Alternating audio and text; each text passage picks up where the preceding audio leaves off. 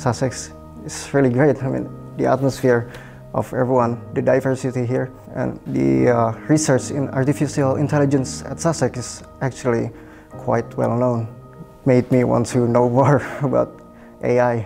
I'm going to do a placement year, uh, industrial placement year in July, and in Reading.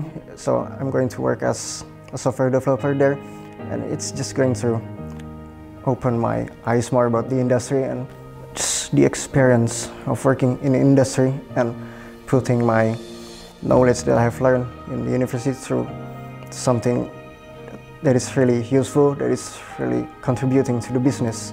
And I just, I think that experience will really help me to know more about the field and yeah, help me to plan my future career ahead. Is for me personally, it's, it's very useful because they, they help me like to build our professional profile. Our tutor told us like explain to us the different kind of jobs that you can do as as a computing as a computing person. They told me that the one of the most prominent prominent uh, job right now is regarding the security, and that's kind of interesting to do.